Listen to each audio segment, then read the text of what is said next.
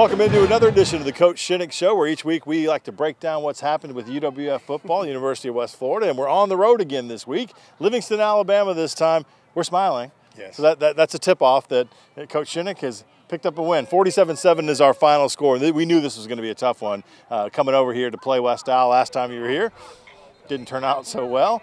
Uh, always a tough place to play. No, it really is, and so I, I could not be happier with the outcome. And uh, you know, I mean, for us to get started the way we did, uh, just extremely proud of our entire team, just how they played. Came out and, you know, had an answer for everything that they wanted to do. And so, uh, you know, really fired up with this effort and to be in the position that we're in right now. Coach Pete Shinnick, if you know him, often says, in fact, all the time says it's not who we play, it's how we play. And you've been saying if we come and we show up and we play our best football, and defensively especially, get off to a good start, dominate the game right from the get-go. They did that. Your defense came out, you win the coin toss, you kick off, and the defense goes and gets a three and out, and that they set a tone that they didn't let up on at all. No, it was huge, and the, the, the best defensive effort that we've seen from four quarters. Obviously, the defense pitched a shutout. They got seven points, but that was off an offensive turnover. Uh, but the defense pitched a shutout, and then uh, to really just stymie West Alabama's run game. I mean, one of the better run games in the conference. I think we held them under two yards a carry. That's unbelievable. Uh, uh, to be able to do, and uh, could not be happier for our defense and what they did and how they did it. Defense gets that ball to your offense. The offense drives the field. It is Karan Ashley, 30-yard touchdown catch from Austin Reed, and you kind of knew it was going to be one of those days where a bunch of guys were going to be involved. The offense was clicking too. Yeah, I'm pretty sure that was a fourth down, and um,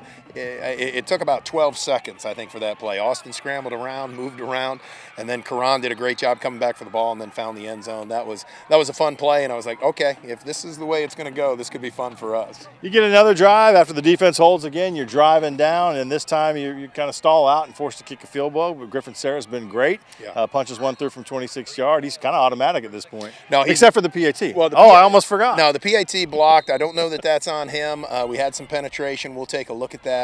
Um, but really, with with that being said, I mean, you, you, know, in previous games, it's like, all right, do we go for it? Do we not? We I think we had fourth and four inside the 20, but I mean, he, the way he's been kicking, it, there, there was no question that he was going to make it.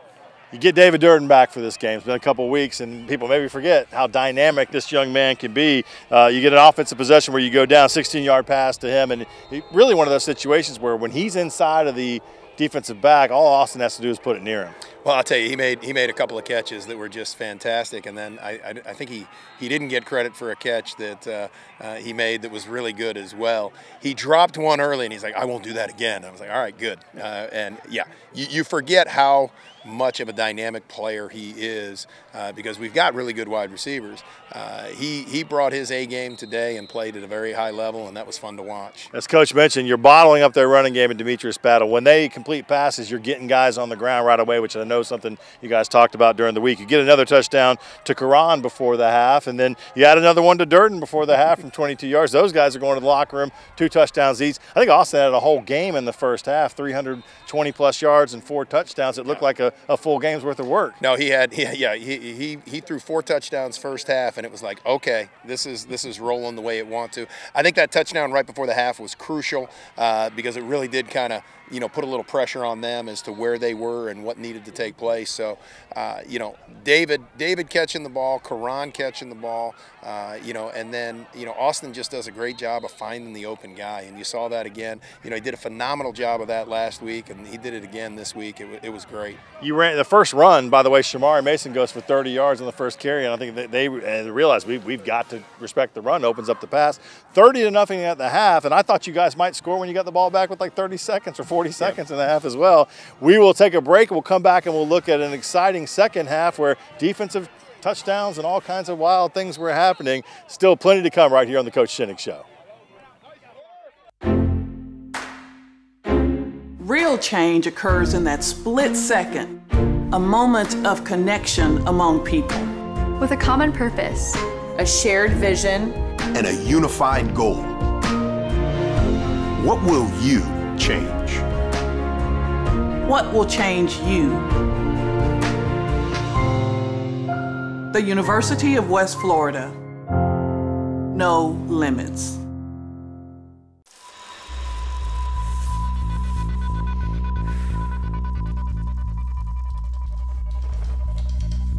For those who measure success by the worn tread on their tires, and those who strengthen their body and mind and drift through their weekends over nature's current.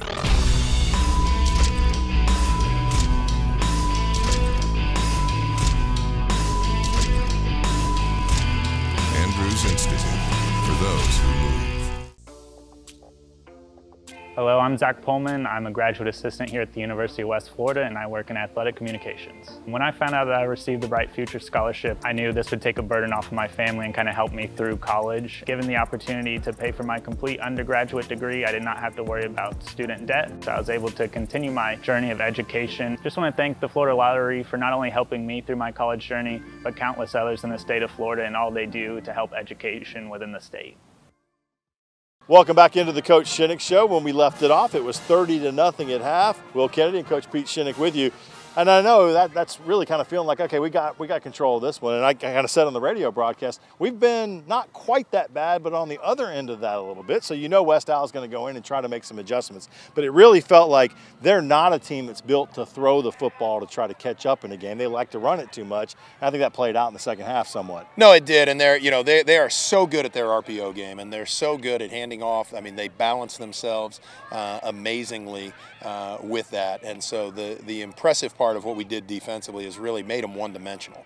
Uh, and then I don't know that they had the passing game, the capacity to you know score that many points. So uh, to come out and for us to take the opening drive, uh, kick a long field goal, that was good to be able to get that on the boards. Uh, and then our defense again just was fantastic. Uh, and I felt like, you know, I, I, think we started milking the clock about, you know, with about four minutes to go in the third quarter because I was like, we get to 40 by the fourth, I'll, I'll feel good about this thing. You mentioned Griffin Sarah, he knocks home a 43 yarder, and the wind had kind of picked up at that point. That's a good length of kick, and I think it speaks volumes to whether it's Valdosta next week or on and into the playoffs having somebody you can trust from that range. No doubt, and I, I think those those six points there that he got were crucial uh, in what we're trying to do, and you know moving forward. And you always want to be able to say, all right, we get stopped down there, we don't like to. How are we going to get points? What's it going to look like? Uh, really proud of him and how he's come on. He's doing a great job. With West Alabama having to kind of throw the football, your defense is able to, as they say, pin the ears back and yeah. come after Jack McDaniels. They did a great job. Five sacks in the game. You had nine tackles for losses, forced some turnovers along the way. We'll get to a big one of those in a second, but they really felt like once they were able to impose their will and really get after the quarterback, they did a great job. Yeah, love what we were doing pressure wise, bringing some guys on the inside, bringing some guys on the outside. Uh, you know, he escaped the pocket early, and you just got to go, okay, that's going to happen a couple times. Uh, but then we, we started going, and uh, you know, Demarco Artis, I think, you know, got in there a couple times, really looked good, and then we rotated a you know a ton of D linemen, and they were just getting pushed and getting in the way. You know, and the tip balls too, I thought were crucial, crucial to our success. Marcus Clayton, I thought played a good game at corner as well. You had a bunch of guys. we can go down the list of names. No, Marcus, you know, Marcus said last night in our team meeting, you know, he, he, hey, he didn't play well against these guys back in 2019. He wanted to play well tonight, and, and he played phenomenal. I mean, he really took what everybody considers the best wide receiver in the conference uh, and really uh, limited him to his, you know, to how many yards he got. My broadcast partner Jamie Smith on the radio said, you know, back in a couple years ago, Anthony Johnson came here in 2017 and kind of put his imprint on this place in the playoffs. He did that again today. He really ran well. I think 12 carries, 50 plus yards, and imposed his will. He punched it in on a touchdown that got you to that 40 point mark, and, and that was one of those drives a little bit different than the way you've been doing it. You were able to run it a little more. yeah, bang away a little bit. They were giving us eight man boxes, seven man boxes, going in different directions. Uh, again, Austin does a great job with the RPO, seeing where he needs to be. Uh, but Ant Johnson, and we, it's funny, it's one of the things we talked about in the team meeting uh, last night as well. Ant Johnson here, uh, West Alabama, he does a fantastic job, and um, you know I, I, couldn't be happy again for him, senior, super senior, sticking around, uh, being a part of this, and to be able to score he, has been great. We got a very good one-two punch going uh, with those two guys. Uh, Shamari continues to average over 10 yards a carry last couple weeks, so uh, it's exciting football. Getting to the fourth quarter, a couple crazy things. Austin throws an interception on a ball. I think it may have been tipped there. Yep. There's a fumble when you get your second offense in there. They return it for a long touchdown return, and then the defense really, I mean, kind of encapsulates the whole game. They get to the quarterback, force him to throw a ball up in the air. D'Anthony Bell catches it and I swear he's looking for people to run into at one point during the return. 90 yards for a touchdown. Well, I'm saying go wide, go wide, go wide, because that's what the defense teaches. That's how we do it. And sure enough, he runs, you know, into people up the hash, and then all of a sudden I was like, oh my gosh, he may score. People kept falling off of him. And then I'm like, ah, oh, somebody's going to. No, okay, that's a 90-yard interception return. Great day for him. Very excited for him. 47-7 the final score, reversing kind of what happened here back in 2018, and really setting you up eight and one now, five and one in conference play. Valdosta next week. We'll talk more about them in the show, but you're at a point where everything to play for, GSC title, rankings in the, you know in the regionals to go on into the playoffs, and it all came from here today. No, it did. We, we had to we had to take care of business today. Could not be prouder of how we played. Uh, our guys flat out got after it. Uh, this is a statement game as to you know what what our future can be. Uh, we got to be able to answer the call every week now from here on out. We know we're in playoff mode, so uh, very happy to play the way we did. It'll be huge next Saturday, Blue Wahoo Stadium at four o'clock. Coach will be back a little bit later in the show to break down that matchup with Valdosta. Coming up next, Maya dives, dives into the other fall sports. Gulf South Conference tournament stuff around the corner. Volleyball continues to roll right here on the Coach Shinnick Show. What does Argo Spirit look like? Is it finding the perfect Argo outfit to show your team pride? Is it giving back while getting your pre-game grub? Or is it connecting with your community in the perfect spot? At Pen Air Federal Credit Union, it's being a proud sponsor of UWF Education, the Alumni Association, athletics, Pen Air Field, and having a spirit of communerosity. Learn more at penair.org slash about us. Look at that. That's called a takes two hands burger. Fresh 100% beef stacked high with melted cheese, hand chopped veggies, and everything else you could possibly ask for. Yep, that's your Whataburger, made exactly the way you want it. Because sometimes you gotta take matters into your own hands. What a burger! Just like you like it.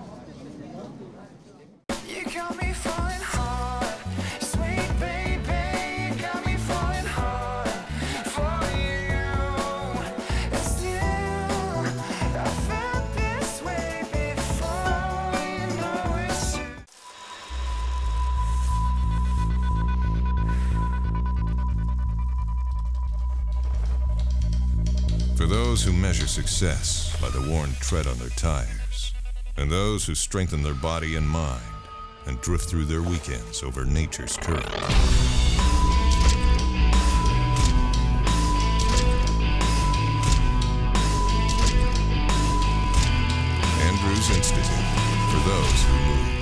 Welcome back. It was another great week to be a UWF athletics fan. Football went on the road and defeated West Alabama. D'Anthony Bell was named GSC Defensive Player of the Week. This week, football will be back at home for the final home game of the season and play Valdosta State. And volleyball went on the road to Mississippi College and West Alabama and swept both teams in three sets. Maddie Cooler was named GSC Offensive Player of the Week. Volleyball secured the number one seed and will be hosting the GSC Volleyball Championship the 19th through the 21st right here in the UWF Fieldhouse. Women's soccer opened up the first round of the GSC Championship tournament on the road against Valdosta State and defeated the Lady Blazers 1 to 0. Peyton Peppers was named to the GSC All Conference second team and Blair Cohen was named to the GSC All Conference first team. I can say it's great coaching, but it's not true. it's uh, the players uh, doing their job again. They're understanding their roles. We've we've worked on it in training, and, and they've bought in. And since they understand their roles, from the front runners all the way through the midfield and the defenders and the keepers, uh, they are limiting the other team's shot count, and uh, and that helps you know, lead to hopefully you know some shutouts. Lee's very good. They have a very veteran team. We just have to focus on ourselves and, and what we need to, to accomplish uh, from the beginning of the game all the way uh, throughout the entire match. Men's soccer also opened up the GSC Championship Tournament, and they hosted Christian Brothers and won 4 to 2. Keegan Anselin, Ed Chappie, and Kynan Dos Santos were named to the GSC All Conference First Team, and Keegan Anselin was named GSC Freshman of the Year. We've started to control the tempo of the games and control the ball more than we did earlier in the year. So we were getting wins early in the year, but we didn't have as much control over the games. And so that, that transformation in our team has been really good to see, especially the fact that we're a young team and a lot of these guys are going to be around for years to come. It's going to be a big challenge uh, because we are very inexperienced, and AUM is on the other side of that. They're extremely experienced. Uh, 15 or 16 seniors, something like that. Um, extremely determined team one of the most difficult teams to play against, uh, probably in the NCAA.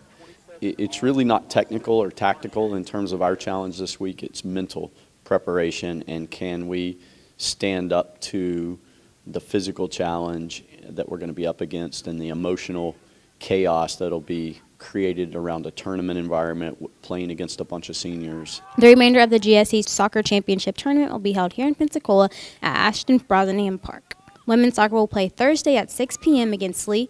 Be sure to check GoArgos.com for all the latest updates on that game. Men's soccer will be back in action on Friday against AUM at 6 p.m. For the latest updates on that game, be sure to check GoArgos.com as well. Both men and women's cross country travel down to St. Leo for the South Region Cross Country Championship. Alyssa Granberg and Zach Vinton had great finishes. This does conclude the cross country season.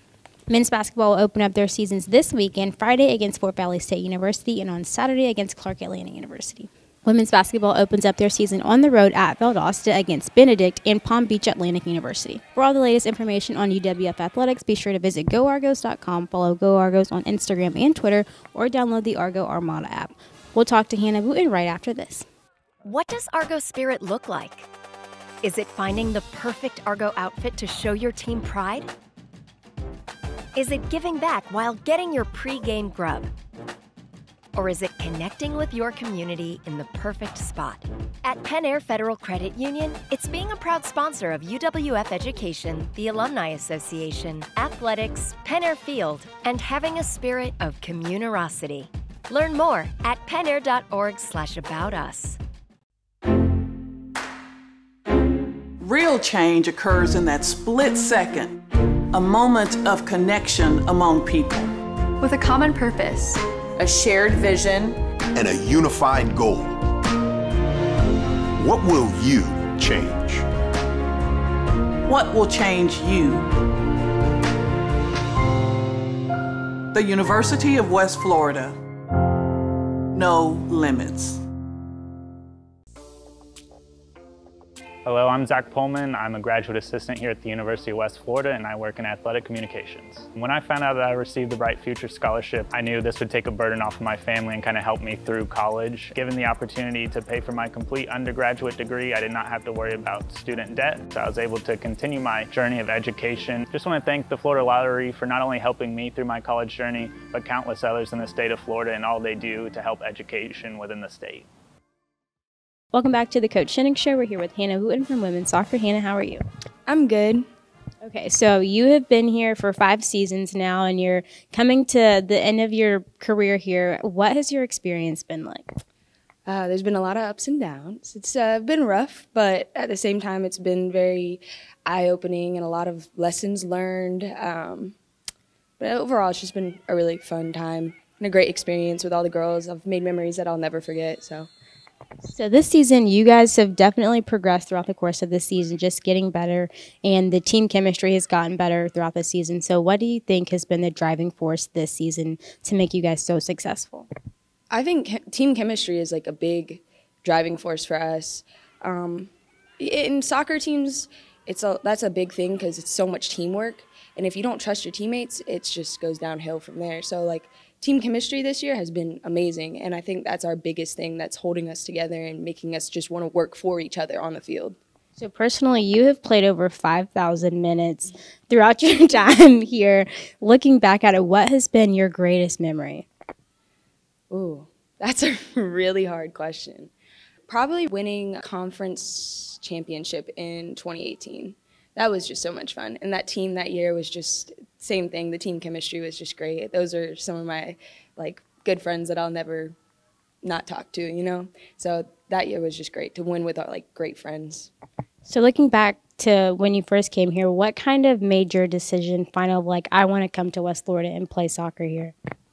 Well, I liked the beaches, so that was cool. Um, and honestly, the team has a great track record. I mean, we've always been a very winning team. So I think that was a big part too because I like to win. so, what advice would you give to the younger version of yourself coming into college, knowing what you know now? Don't be so distracted by outside things. Really, only school and soccer matter. Most other things are just temporary. so, stay focused on what does matter. And then as a leader, how has your mindset just changed throughout like your freshman year to now being a leader on the team and people and someone who people look up to? Definitely become more responsible compared to when I was a freshman. Um, not late to things anymore. And just kind of always trying to be there for everybody and making sure everybody's on the same page and feeling good and wanting to be on the team and wanting to play. And I think that's the biggest thing is just making sure everybody is on the same page wanting to work hard for each other. So as the season kind of gets into postseason, you guys won against Valdosta, and you're looking to keep going. What is your mindset just to looking to keep this season going as long as you can? I think we just really need to give it our all. I think like if we give it our all, the way we played against Mississippi College, Valdosta, I think we can beat any team. But it just requires everybody to give it their all. And I mean, we've seen that we can do it. So, but we just need to keep that momentum going is the biggest thing. So, lastly, what advice would you give to anyone who's looking to get started playing soccer? Maybe they're going to go play soccer at the collegiate level. Focus on technical skills, probably, and focus on being a good teammate. That's the biggest thing, I think, for soccer. Technical skills and being a good teammate, always being able to pressure, cover, balance. Thank you so much, Hannah, for joining us. We'll be right back with the Coach Shinnick Show. Real change occurs in that split second, a moment of connection among people. With a common purpose, a shared vision, and a unified goal. What will you change? What will change you? The University of West Florida. No limits. Look at that. Your Whataburger, made exactly the way you want it. Because sometimes you gotta take matters into your own hands. What a burger, just like you like it.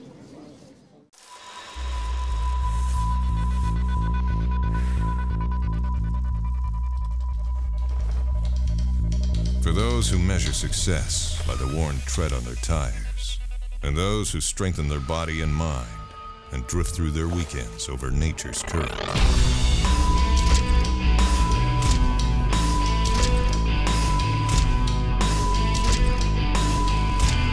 Andrews Institute for those who move. Welcome back into our final segment here of the Coach Shinnick Show. Coach Pete Shinnick back with us now. We're ready to talk about Valdosta. It's finally here. I think this is uh, one of those times in sports where everyone points to something that's going to happen near the end of the season. And sometimes it, things just don't live up to the hype or things go sideways along the way. We predicted this game would be a big one yeah. at the end of the year. And here it is. Valdosta unbeaten. You guys sitting there at 8 and 1. Conference is on the line. Yeah, I mean, we when we looked at the schedule when it came out, we said, okay, this one will be for pretty much everything. Who's going to be the conference champion? Uh, obviously, we stumbled against uh, West Georgia. They've stayed uh, unbeaten, but it's still, if we beat them, we got an opportunity to share the conference title and feel very good about what we've been able to accomplish. You know, the GSC, we say it, you never know what will happen week from week. You're always going to get everybody's best. You guys go out and we handle West uh, Alabama fairly effectively, 47 to 7.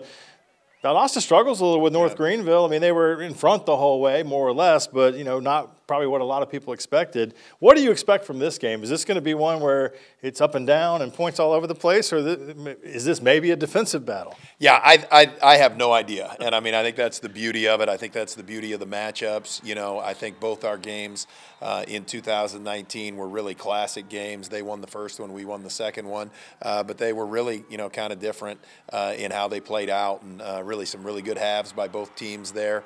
Uh, and we found a way to win in the playoffs, and they found a way to win in the regular season. So uh, you know, looking at it, I mean, their defense is very good. Their offense is very good. Uh, our defense is playing very good right now. Uh, our offense is very good. So this one could go a lot of directions. It's interesting when you look at Valdosta's defense. We'll start there. They they give up some yardage on the ground to the running game. They're very stingy against the pass, which that, that, that's it. It'll be an interesting matchup of strengths. Yeah, and we've I think we faced a couple teams very similar to this. I think when West Georgia, when we played them, they were giving up 110 yards passing a game, and uh, so Valdosta very similar. And uh, you know, for us, it's really just finding the right matchups. Uh, again, our, our philosophy offensively is take what the defense gives you. Uh, Austin Reed runs that about as well as anybody that you know I've had doing it. So uh, we feel like there's a void somewhere. We're going to find it, and if there's a gap, we're going to look for it.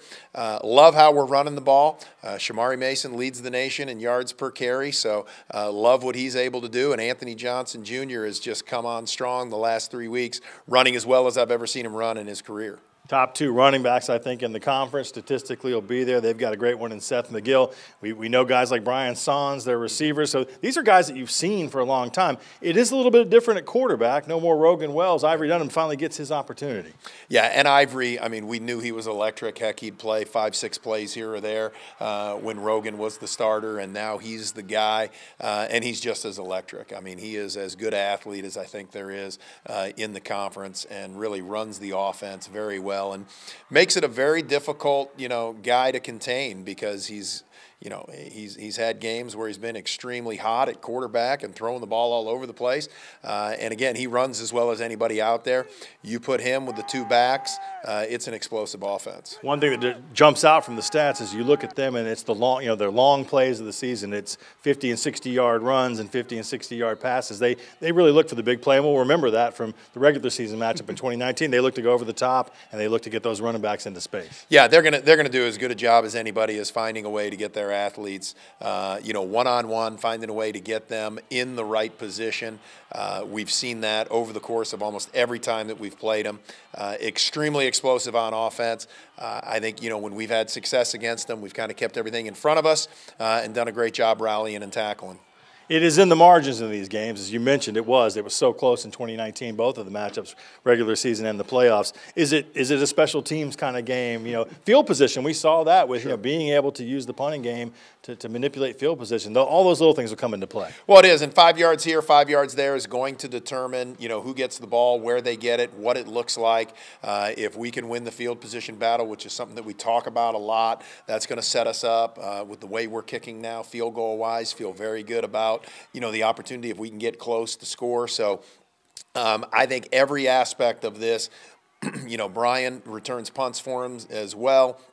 He's explosive in that. We got to be able to contain every aspect of them across the board, no matter what team we have on the field, forces, uh, offense, defense. We, we got to be able to keep them at bay. This feels like a titanic struggle is going to take place at Blue Wahoo Stadium. Four o'clock kick for the game. By the way, D'Anthony Bell, 90-yard interception return to the house, the pick six. He is the GSC Defensive Player of the Week. We'll be on the radio with the pregame show starting at 3:30. This game will be on FloSports, our, our streaming partner with the GSC, and also on your view on your TV sets as well it's salute to service game, which I know is always a big one, but also senior day. You get to honor some of these guys that have been around a while and have done a lot for this program. No, I got a got a really big senior class, and uh, some guys like Rodney Coates and uh, Trent Archie have been with us really from the beginning.